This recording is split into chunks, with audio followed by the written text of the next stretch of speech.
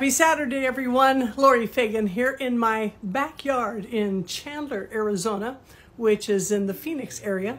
And I just wanted to pop in and invite anyone who is in Phoenix, Scottsdale, Cave Creek, Carefree area. Tomorrow, Sunday, November the 3rd, from 2 to 4, I'll be a part of an art reception at the Holland Center. And this is a beautiful community center up in North Scottsdale and I'm in a show with two terrific artists. Nicolette Bonnstetter, who is an amazing artist, uses a lot of color in her paintings of not only uh, uh, 2D work, but also bowls and other three-dimensional items. And Pamela Fingerhut, who's a digital photographer, and she does some very thought-provoking, often uh, images that she manipulates uh, for her artwork.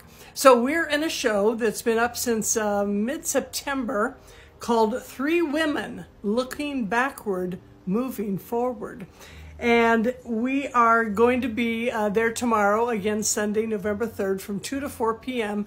We'll have a little kind of a uh, program, if you will, at 2.30, because I've written a couple of poems that I am going to read, uh, and it's about the show and about these other great artists and uh, we will have a flute player there. We're going to have a woman who's doing ikebana Japanese flower arranging. So that will be very, very cool. And there'll be food and wine and, and uh, lots of uh, good company if you can stop by and uh, see it. So the Holland Center is at 34250 North 60th Street in Scottsdale. And the show itself runs through November the 24th. So we have a couple more weeks. But hope you can make it tomorrow. Would love to see you.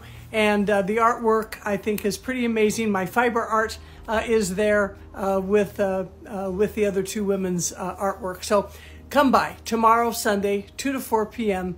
up at the Holland Center in Scottsdale. Hope you're making it a creative day.